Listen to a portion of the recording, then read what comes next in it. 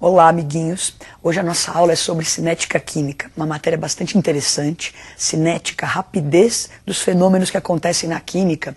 Você pode pensar que isso não tem nada a ver com o seu dia a dia, mas pelo contrário, você, no seu dia a dia, manipula a rapidez das reações.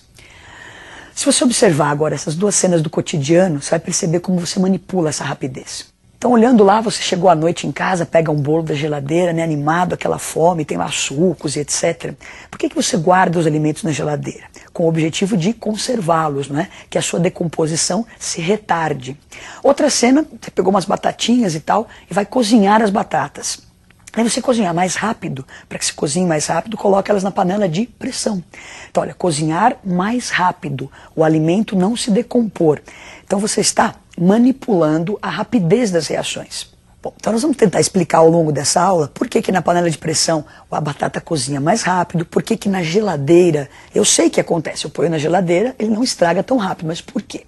Esse é o objetivo da aula, entender os porquês da rapidez de uma reação. Bom, vamos olhar para uma reação química então. Está lá, H2 mais I2 formando 2 de HI. É uma reação que eu conheço, né? Eu sei que ela acontece. Lembre que o primeiro membro são os reagentes, o segundo membro são os produtos. Como que esses reagentes se transformam nesse produto? Olha só, para você, você vai a uma festa, por exemplo, você olha, tem várias pessoas, você não se apaixona por todo mundo, não é? Então, de repente, alguém desperta um certo interesse, uma certa afinidade. As substâncias químicas também. Elas têm que ter uma certa afinidade para que ocorra a reação. Bom, tendo essa afinidade, você ficou afim de alguém, você não vai lá e conversa, estabelece um contato. As moléculas também. Então, elas estando afim, tendo um contato, há um primeiro passo para a reação acontecer. Então, reação química, para ocorrer, eu preciso de moléculas que tenham afinidade e sejam postas em contato. Uma coisa sem a outra, a reação não acontece. Bom, estando afim, estando em contato, como que eu saio daquele reagente e vou para aquele produto? Vamos olhar a animação. Então, na animação, você vê a molécula de H2 interagindo com a molécula de 2. Como que é essa interação? Há um choque entre essas moléculas. Então, o H2 vem, colide com o I2, quebram-se as ligações antigas e formam-se as ligações novas, formando então o produto 2 de HI. Então você acabou de ver a reação acontecendo ali, não é? Estava o H2, o I2 e essas moléculas colidem. Então as moléculas que tavam, tinham afinidade foram postas em contato e para que haja reação elas têm que se chocar. Agora, não é qualquer esbarrão que faz com que as ligações antigas se rompam e se formem as novas. Eu preciso de um choque chamado de choque efetivo. Um choque que faça a coisa acontecer. Então nós vamos olhar de novo para a tela e congelar um pouquinho a imagem no momento intermediário da reação. Então eu estou entre o reagente e o produto. Olha o que aconteceu no momento, no instante do choque. Então se você olhar ali, naquele segundo em que há o choque, as moléculas se encaixam perfeitamente. Então está lá o H, dois Hs, os dois Is. Esse instante do choque efetivo, o choque que gera a reação, essa estrutura que você vê na tela é chamada de complexo ativado. Então nem é o reagente e nem é o produto ainda. Eu estou em algo intermediário. Então as moléculas vinham, tinham afinidade, foram postas em contato, colidem, no instante da colisão se forma isso que está na sua tela, que é o complexo ativado. Bom, então vamos dar uma recapitulada e organizar tudo isso. Então nós temos moléculas com afinidade, foram postas em contato. Na hora do contato elas começam então a colidir, a se chocar. Para que a reação ocorra eu preciso de um choque chamado de choque efetivo, que é um choque bem orientado, com bastante energia.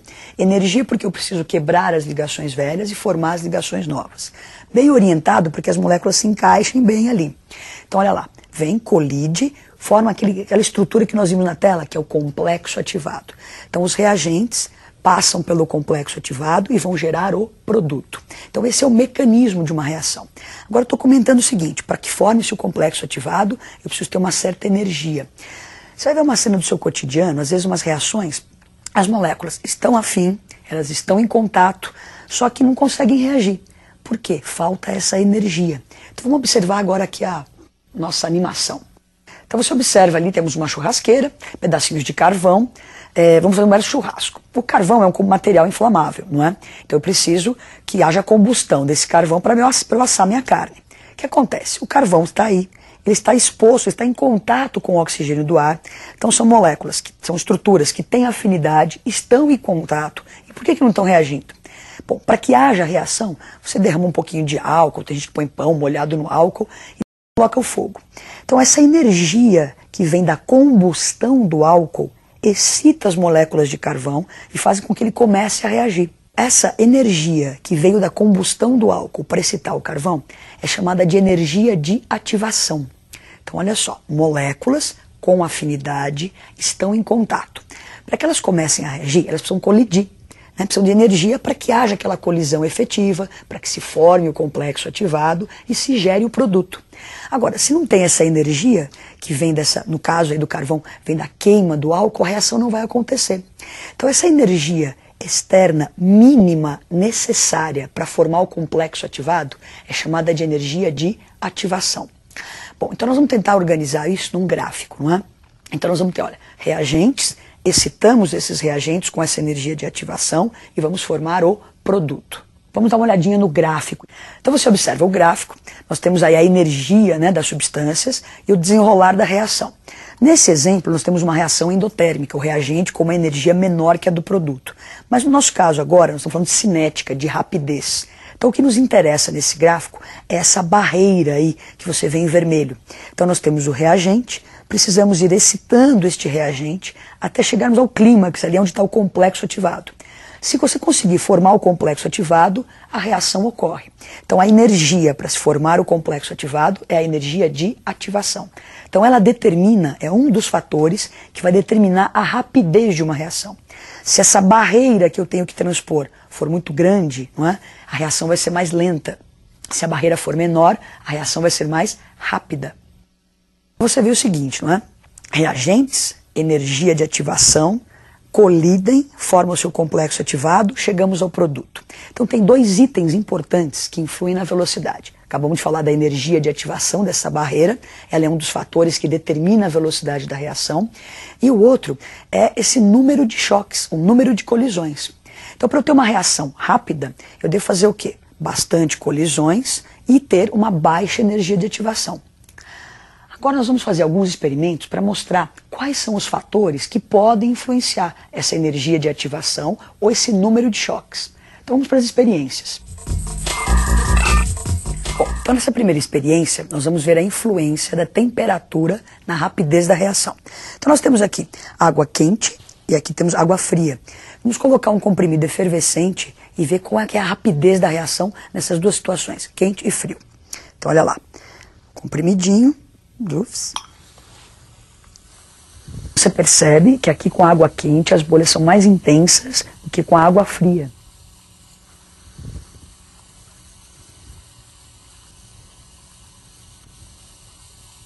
Então, como você percebe, não é? Com a água quente, a efervescência foi muito mais intensa, mais rápida. O comprimido já se dissolveu, enquanto que na água fria tem um restinho de comprimido ainda lá entrando lá em contato. Então o que acontece? Lembra que nós falamos que para a reação acontecer, nós precisamos ter colisões entre as moléculas?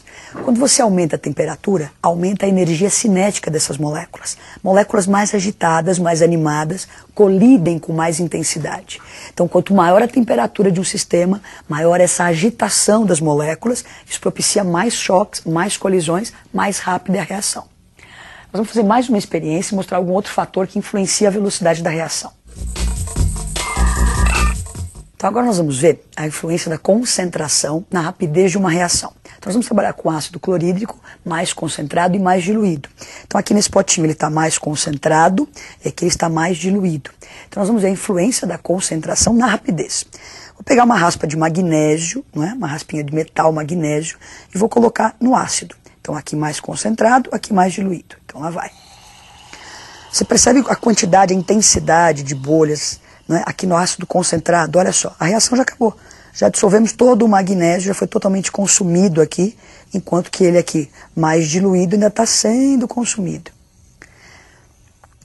Bom, então o que acontece? Nós falamos que para que a reação seja rápida, tem que haver a colisão. Quando eu tenho maior concentração dos reagentes, eu tenho mais moléculas disponíveis para que haja o choque entre elas. Então, quanto maior a concentração dos reagentes, maior o número de moléculas para que haja colisão, mais rápida é a reação. Então, maior a temperatura, mais rápida a reação. Maior a concentração, mais rápida a reação. Vamos ver mais uma experiência mostrando um outro fator que pode influenciar a rapidez de uma reação.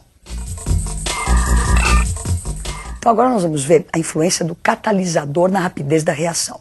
Então o catalisador é uma substância que atua como se fosse um cupido, apresenta, encurta o caminho entre os reagentes, fazendo a reação ficar mais rápida.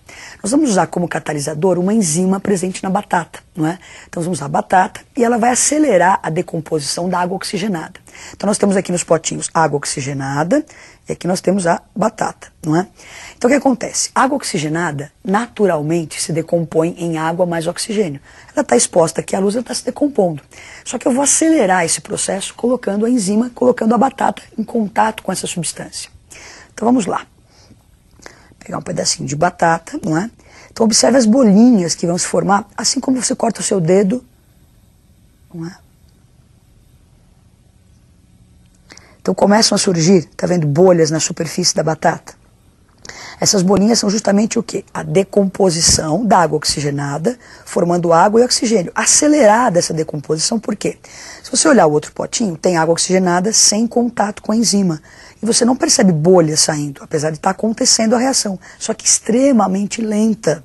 Né? E com a presença da batata, da enzima que está na batata, essa reação já se torna até visível. Eu consigo ver as bolinhas de oxigênio assim quando você corta seu dedo e põe água oxigenada. Então agora nós vamos ver a ação do catalisador num gráfico para assim, explicitar melhor o que ele fez, qual é a ação dele durante a reação. Então dá uma olhadinha no gráfico. Então nós tínhamos um caminho energético, né? tinha lá os reagentes, chegaríamos ao produto. Então temos a energia de ativação sem o catalisador, o tamanho de barreira a transpor. Quando se coloca o catalisador, a reação ficou mais rápida justamente porque o catalisador age nessa barreira energética ele encurta o caminho, encurta o acesso entre os reagentes. Então, o caminho ficando mais curtinho, menor a barreira, mais rápida é a reação. Então, o catalisador age na energia de ativação. Agora nós vamos ver mais uma experiência mostrando mais um fator que pode afetar a velocidade da reação. Então agora nós vamos ver mais uma experiência mostrando a influência da superfície da área de contato na rapidez da reação. Então lembre que as moléculas para colidir precisam se chocar. Quanto maior a probabilidade de choque, mais rápida deve ser a reação. Então nós vamos ver agora aqui uma reação com permanganato de potássio, ele está bem triturado aqui, então uma área grande de contato. E nós temos aqui o permanganato de potássio com grãos maiores, com uma área de contato menor. Nós vamos acrescentar glicerina e observar a rapidez da reação. Fiquem atentos. Então, umas três gotinhas ali.